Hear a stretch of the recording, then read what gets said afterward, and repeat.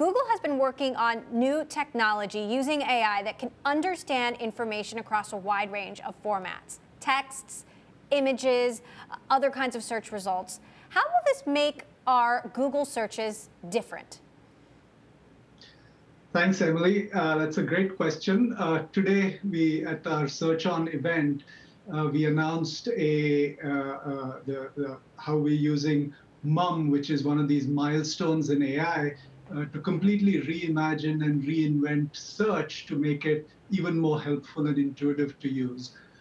so, for example, um, we, are going to use MUM to to improve Lens, Google Lens, which already allows you to search by image uh, but now we'll let it search in this multimodal fashion where you can provide an image and some text that refers to that image, uh, such as socks with the pattern that's in the image, for example.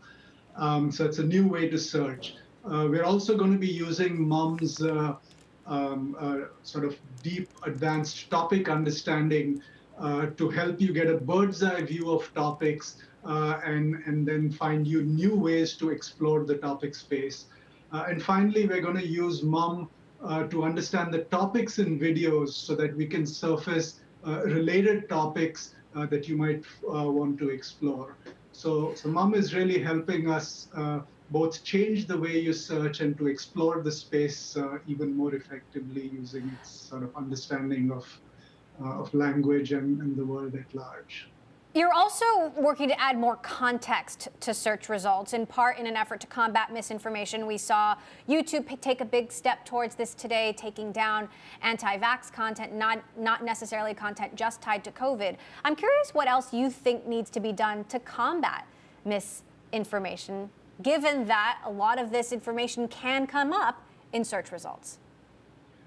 Actually, um, we've uh, spent many years now uh, surfacing high quality content uh, in, in these areas. And I think we've had a lot of success in doing that. This has been our mission from day one uh, uh is to, to, to surface relevant results from reliable, high quality sources. And we've really doubled down on that idea over the last uh, five years or so.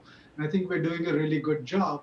But what we we've started a new effort this year, and with some improvements we announced today, where the idea is that you want to give not just surface high quality results, but you want to give users more tools to make their own uh, decisions about what to trust or not and give them that, that additional context. And so uh, uh, earlier this year, we launched this feature called About This Result, where you can get more information or descriptions of the, the result and, and, and so forth today we, uh, we, announced that we will soon be expanding that substantially uh, by providing information uh, about what other sites think about uh, uh, this site, uh, related okay. information, and so forth.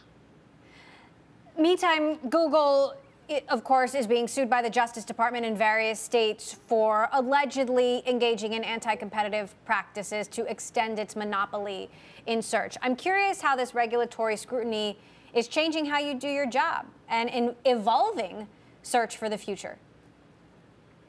I mean, it, it, my own work in, in this area is to make, continue to make search as helpful as possible uh, for our users. Uh, and that mission does not change here. In fact, uh, it's uh, given that users have even more ways of finding information today from a variety of different uh, sources and, and, and, and so forth uh, that mission is ever more important today, uh, and there's no change in that.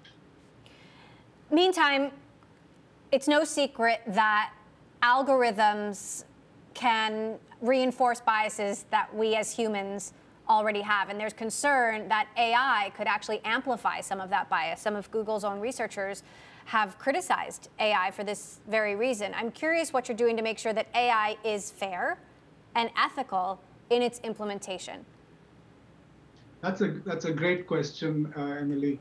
Um, our big answer to this, this is something we're very concerned about, of course, uh, and our big answer to this has been something we've been doing for a long time, which is we have a rigorous uh, testing and evaluation process before we launch any new feature any new AI system or any new system at all for that matter. So it's not just AI focused, but of course, every AI system also goes through the same rigorous testing and evaluation where we look at samples of queries from the broad query stream and from particularly sensitive slices to make sure that there are no concerning patterns, things like the bias concerns, things like misinformation, all of these things are things that we, we look for in this. And only when we have a lot of confidence that we see no such concerning patterns do we launch this. Uh, and that's a strategy that has worked very well for us over, I would uh, submit it, uh, over the last 20 years, but certainly over the last five, 10 years where we've really amped it up.